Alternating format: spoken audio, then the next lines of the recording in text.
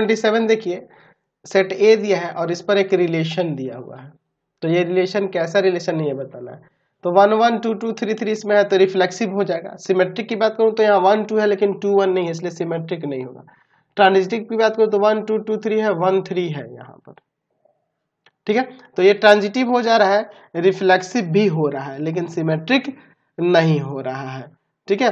तो twenty seven का क्या हो जाएगा? रिफ्लेक्सिव है, लेकिन सिमेट्रिक नहीं है। तो यही हो जाएगा ऑप्शन तो ये सही दिख रहा है।